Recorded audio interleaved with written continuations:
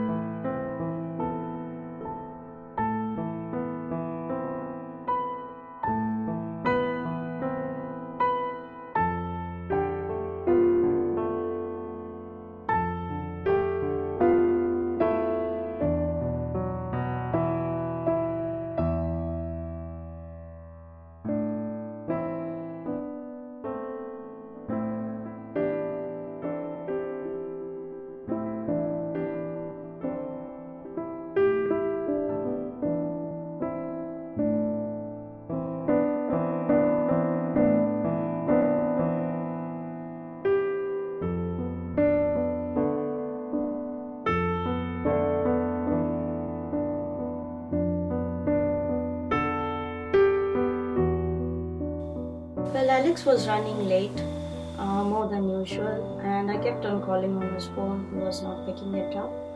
And uh, in the meanwhile, my brother Marty, he was on his way to our home because he was also coming for the same wedding reception. Uh, but uh, I just kept on getting worried. Uh, it was some kind of intuition, you can say.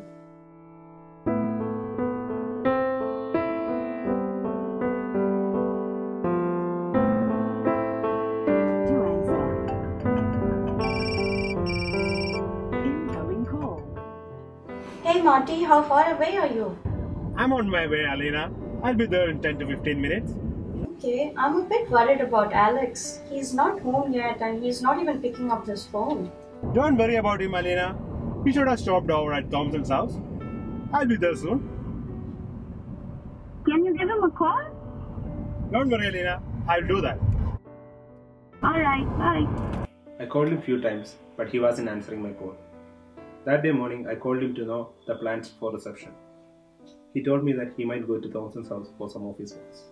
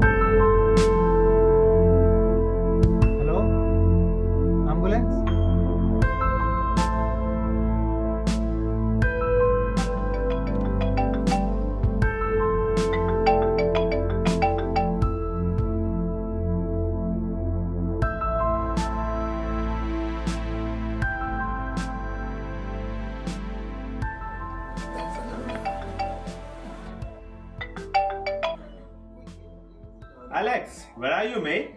We have been waiting for so long. I saw your friend lying on the ground. I think he is unconscious. Yeah.